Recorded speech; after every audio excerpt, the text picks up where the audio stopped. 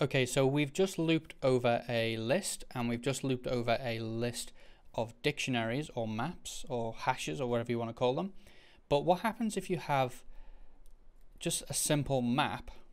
Okay, so let's get rid of these two keywords and instead you actually have something like um, name is Mike, age 35 uh, gender male okay?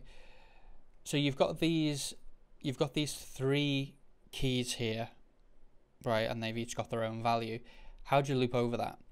So what happens if we just loop over C? Let's see what happens what we get. So we've now converted C into a into a map and now we get invalid data passed into the loop, right? Because it requires a list, and instead we got a map. Now, actually, look at um, looking at what it says here. It does give us a bit of a hint. If you pass the list slash dict of just one element, try adding wantlist equals true to your lookup invocation or use a query instead of a lookup.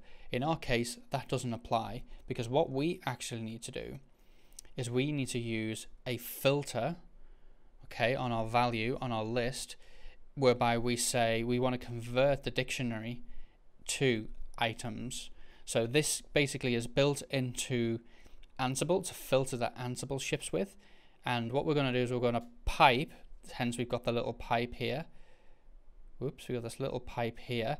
We're going to pipe that. Okay, we're going to pipe our value into this filter and it will convert the dictionary into a list for us. Okay, so if we go back to our code and then we go pipe dict to uh, items, okay, whoops, okay, dict to items, exactly the same as what we have there, and then we run it again. Now we will still have a map, but it will be converted to a list for us. And as we can see, we actually executed six times in total because we had three items in the map. Remember, we had three keys in our map. Okay, we had um, we had gender, we had age, and we had um, we had name, and that executed on all the, the slightly out of order here. So it looks a bit weird because the dot seven three is here and then the other two are here. But essentially, we've got name here, we've got gender here, and we've got age over here. So we've actually looped over the map and got each thing out. But what if we just want to access either the key or the value? Well, because, so in this case, item is actually set to a special case. So we can't do dot name, right? Because remember what happened last time when it didn't exist. So item will equal, effectively will equal a map, but it won't contain the key names in there. Okay, this is really important to remember. If we try and do that, let's see what happens. So it just fails because that name doesn't exist. That's because when we do this, what's actually happening is it's doing a lot of work under the hood and it's actually producing a map like this. I'm going to demonstrate it, right? Key, name, value, Mike C.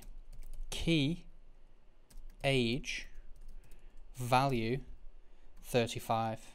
Okay, key, gender, sorry, key, gender,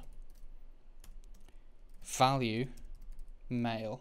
Okay, if I comment that out because I don't want the two to clash, that's effectively what this is being converted into. So what does name need to be changed to if we want to access the key? Key. Okay, and we can go equals equals item dot value. Okay, so it's doing a lot of work under the hood to make the values available to us in a very specific way. So now they've executed again here, 0.73, hello gender equals equals male, hello age equals equals 35, and hello name equals equals Mike C. So in order for us to loop over a map, we have to first convert it using the dict to items filter. We need to first convert it into a list and it will convert into a list of that nature. That's what the list. It'll be a list of maps which we which we looped over previously, and it will have key value pairs inside of there, and that is how you uh, that's how you loop over a map.